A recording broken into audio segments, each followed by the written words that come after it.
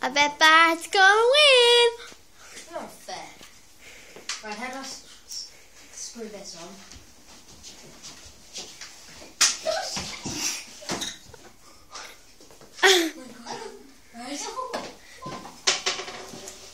Oh my god. I think he's gone brain damage. You can see him.